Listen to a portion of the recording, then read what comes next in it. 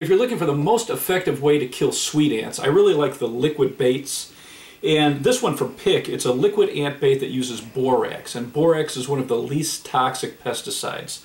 So it's a sugar substance which these ants are attracted to, and the sweet ants have a very difficult time with solid bait. So the liquid is very easy for them to grab, they put it into their social stomach, they bring it back to the colony, and they distribute it, and they'll kill the whole colony. So the way this works is you have a bunch of these little pieces of cardboard that you're going to take and you're going to fold them so you create a little bit of a dish. And then you're going to put a few drops of this bait. They're going to be attracted to it. You want to make sure you do all your cleanup because they're looking for water and any source of food. So you can't have any sugar, crumbs, or anything on the counters or where you saw evidence of ants.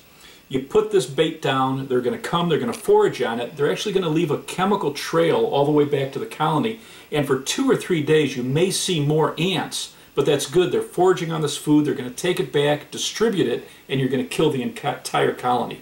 If you run out of paper, or if you want a different type of dish to put your lure in, you can actually use just a little piece of aluminum foil and then fill it up with more of the product. But for sweet ants, these liquid bait killers do an excellent job.